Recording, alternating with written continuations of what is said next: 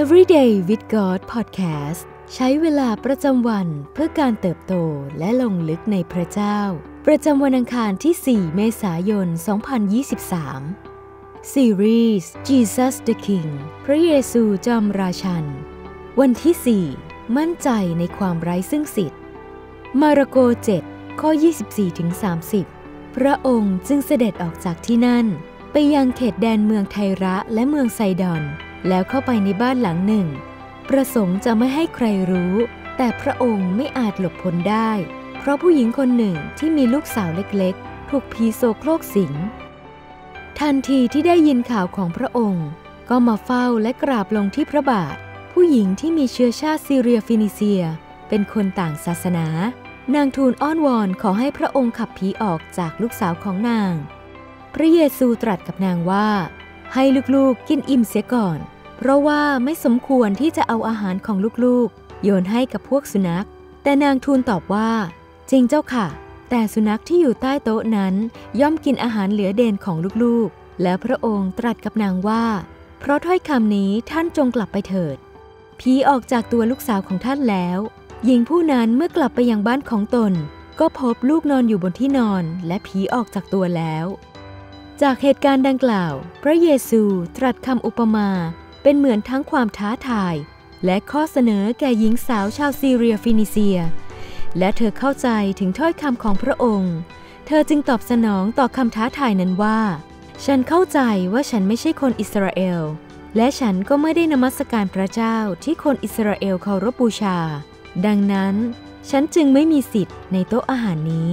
ฉันยอมรับความจริงนี้ บทสนทนาดังกล่าว ช่างเป็นบทสนทนาที่น่าอัศจรรย์ หญิงชาวต่างชาติคนนี้ไม่ได้รู้สึกไม่พอใจ เธอไม่ได้ยื้ออย่างดื้อดึงเพื่อเรียกร้องสิทธิ์ของตน แต่กลับกันเธอกล่าวว่า เอาล่ะ แม้ฉันอาจจะไม่มีสิทธิ์ที่โต๊ะนี้ แต่อาหารบนโต๊ะก็มีมากพอสำหรับทุกคนบนโลกไม่ใช่หรือคะ เธอปล้ำสู้กับพระเยซูด้วยความเคารพให้เกียรติ แต่ขณะเดียวกัน เธอก็มุ่งมั่น จะได้รับการรักษาลูกสาวของเธอ เป็นคำตอบจากพระองค์เท่านั้น ในวัฒนธรรมโลกปัจจุบัน เรามักจะไม่เห็นความมั่นใจและการแสดงออกประเภทนี้เท่าไหร่นัก เราเห็นเพียงการแสดงออกทางสิทธิเสรีภาพ ความไม่พอใจกับชีวิต จนกว่าจะได้ยืนหยัดในสิทธิของตน ได้ยืนหยัดในเกียรติศักดิ์ศรีและความดีของตน นี่คือสิ่งที่ฉันควรจะได้รับ แน่นอนว่าสิ่งเหล่านั้นเป็นเรื่องดี และทุกคนมีสิทธิเสรีภาพในการแสดงออก แต่หญิงซีเรียฟินิเซีย ไม่ได้แสดงออกเช่นนั้นแม้แต่น้อย สิ่งที่เธอมีคือ ความมั่นใจว่าตนไร้ซึ่งสิทธิ์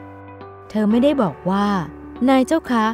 ขอทรงประทานสิ่งที่ดิฉันสมควรจะได้รับตามความดีที่ดิฉันมีเถิด ฉันต้องการมันเดี๋ยวนี้ เธอรู้ดีว่าตนไร้ซึ่งสิทธิ์ และไม่คู่ควรได้รับการอวยพรใด แต่ถึงอย่างนั้นเธอก็เข้ามาหาพระเยซูด้วยความกล้าหาญโดยตระหนักและยอมรับ คำท้าทายและข้อเสนอของพระองค์ เมื่อได้ยินคำตอบที่กล้าหาญและสำนึกในพระคุณเช่นนั้น พระเยซูตรัสกับเธอในมาระโก7ข้อ29 ว่า เพราะถ้อยคำนี้ท่านจงกลับไปเถิด ผีออกจากตัวลูกสาวของท่านแล้ว ในฉบับแปลบางเล่ม แปลถ้อยคำของพระเยซูว่า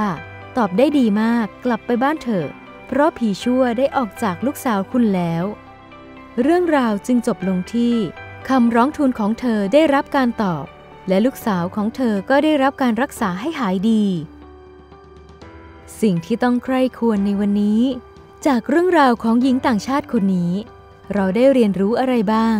ในเรื่องท่าทีและการเข้าหาพระเจ้า ให้เราอธิษฐานด้วยกัน พระเจ้าที่รัก เราขอบคุณพระองค์ ผู้ทรงครอบครองสิทธิอำนาจทั้งสิ้น